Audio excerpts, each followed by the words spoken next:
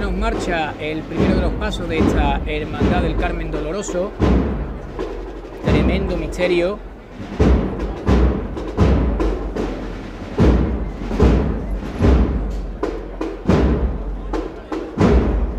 Voy a ver si me puedo colar entre San Juan y José de Arimatea para que podáis ver el detalle del gallo que lleva encima del paso. Ahí se ve un poquito, ¿veis? El gallo que forma parte de esta representación del Evangelio, como dijimos, de San Juan.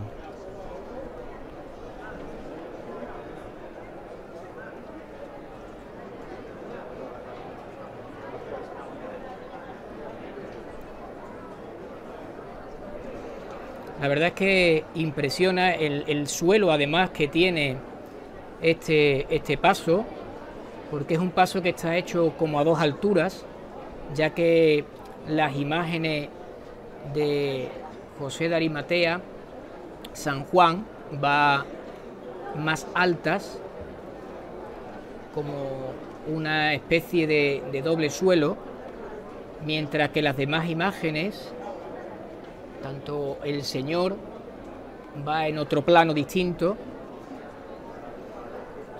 pero realmente es un paso impresionante y, tiene que ser muy pesado, ¿eh?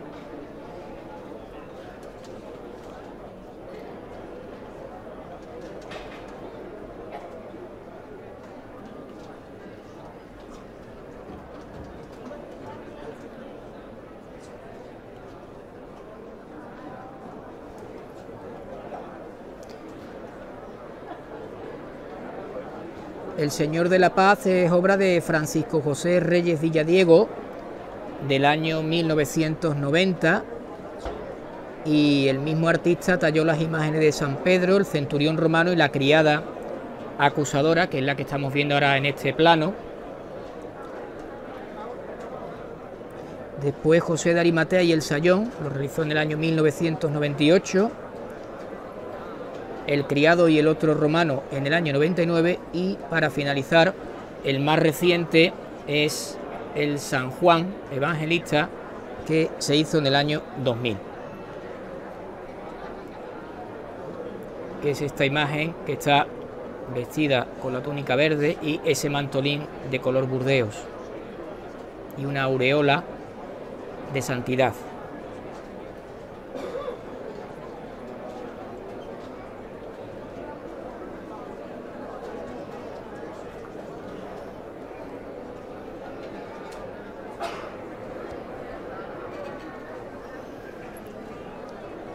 Hasta 24 cartelas tiene este paso que la realizó el imaginero José María Leal Bernaldez entre los años 2011 y 2015 y en ella se representan escenas de la vida de Jesús y de santos sevillanos.